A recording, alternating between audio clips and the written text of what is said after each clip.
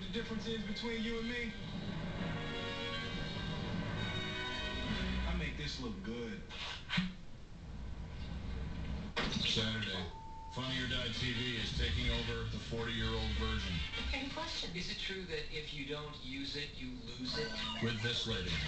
I'm Kelly Whispers, and I want to tickle your brain. The 40-year-old Virgin, Saturday at 8 on IFC.